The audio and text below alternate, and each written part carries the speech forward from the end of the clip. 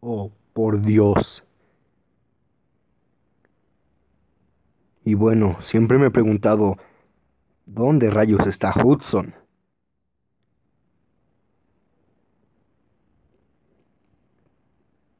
Todo ese tiempo he estado viviendo en una mentira. ¿Dónde está?